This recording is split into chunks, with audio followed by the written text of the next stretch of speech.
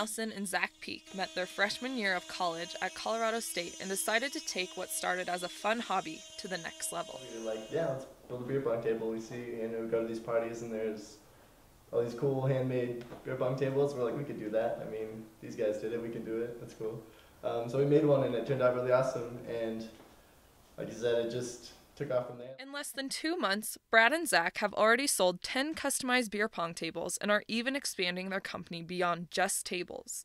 And we have a couple clients going forward interested in bar tops and cornhole and stuff like that. So we're really started with the beer pong tables and now we're kind of expanding out into other sort of party, tailgate, entertainment necessities.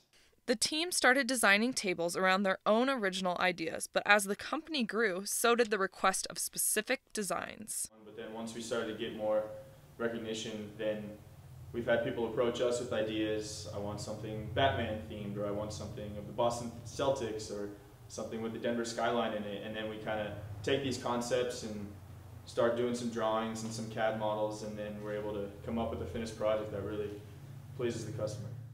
B&Z Custom Entertainment Solutions expects the company to keep growing and are passionate about the business expanding. Yeah, you'd want anything you do to turn out great, and I think this company could do that.